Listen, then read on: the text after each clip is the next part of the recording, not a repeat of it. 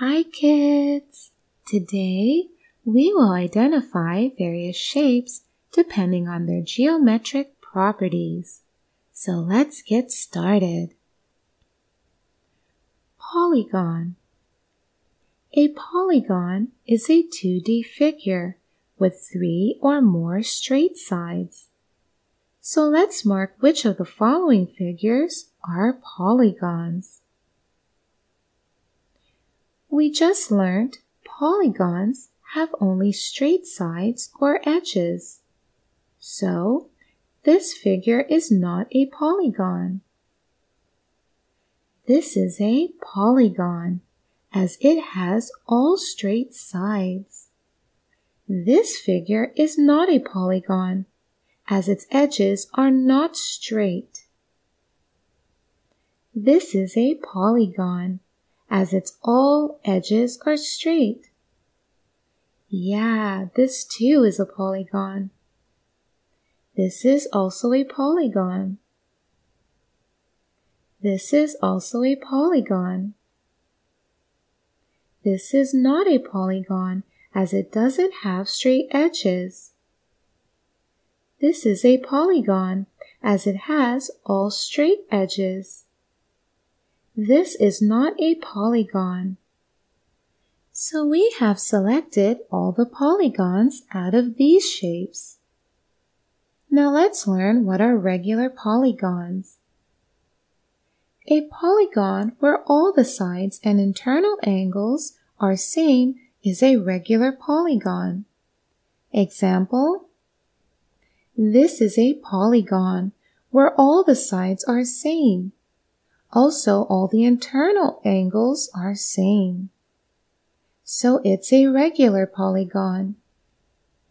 Here is another example. All the sides and angles are same in this figure. So this is a regular polygon. Now which of the following figures are regular polygons? Yeah, these figures are regular polygons out of these, as these figures have all sides and angles same. Now, let's learn about irregular polygons. Are these regular polygons? No, they are not regular polygons, as neither their vertices, not their internal angles, are same as they are irregular polygons. Now, which of the following figures are irregular polygons? Yeah, this, this, and this. These three figures are irregular polygons out of these. Now let's learn what are quadrilaterals. The polygons that have four sides are known as quadrilaterals. Here are some polygons. Let's figure out which of the following are quadrilaterals. We know quadrilaterals have exactly four sides. Neither more nor less, exactly four sides. Here, these shapes, out of all the shapes, have four sides. So these are quadrilateral. Now, let's learn what are parallel lines. Lines that do not meet each other, even on extending, are known as parallel lines. Parallel lines are always equidistant from each other. They are never meet each other, no matter how long we extend them. These figures have one or more pair of parallel lines. They can never meet each other, and the distance between them always remains the same. Here are some polygons. Let's see which of these figures have one or more parallel lines. This figure has a pair of parallel lines. These pair of lines is parallel that is, these lines can never meet each other, no matter how long we extend them. and this pair of lines is not parallel. They will meet each other if you extend them, like this. This figure has two pairs of parallel lines. This figure also has two pairs of parallel lines.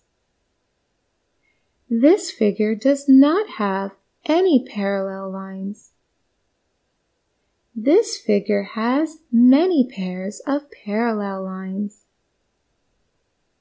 This figure has two pairs of parallel lines.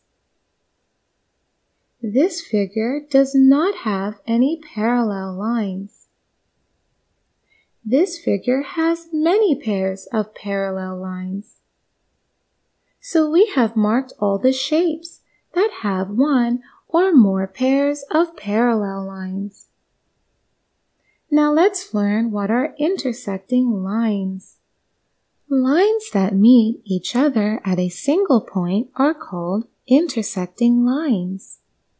A minimum of two lines are required for intersection.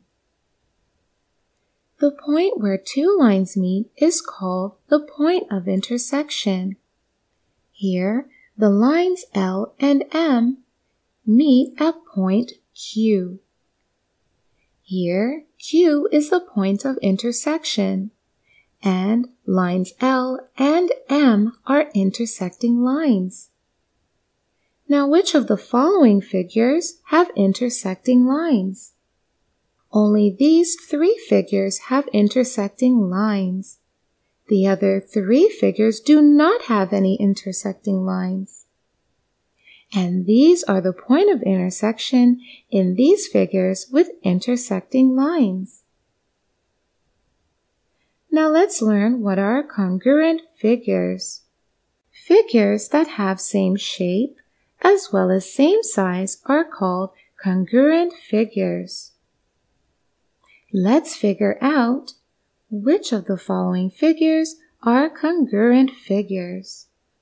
Yeah, these figures are congruent as they have same shape as well as same size.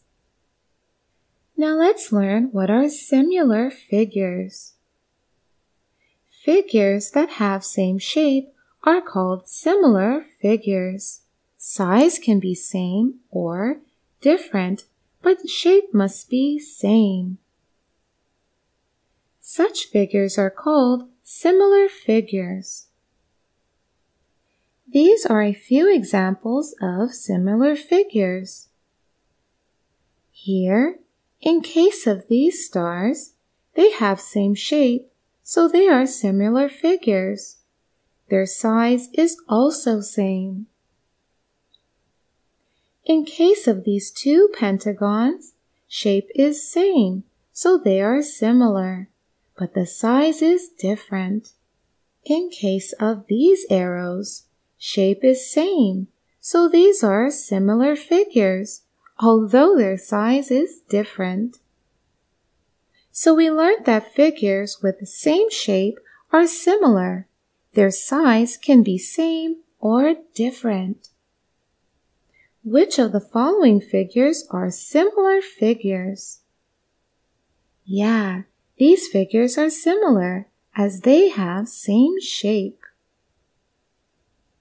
Remember, if the figures have both same shape as well as size, they are both similar as well as congruent. As similar figures means same shape, and congruent figures means same shape as well as same size. So all congruent figures are similar too. But all similar figures are not congruent, as they may or may not have same size too.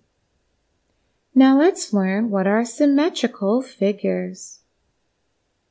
Figures that can be folded or divided into half, so that the two halves can completely cover each other are called symmetrical figures.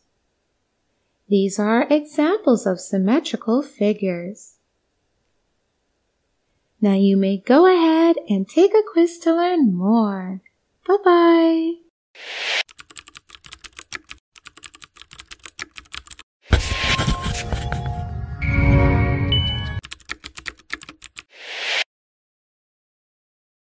Tutway has thousands of animated videos on math, English, and science to clear the core basics of these subjects.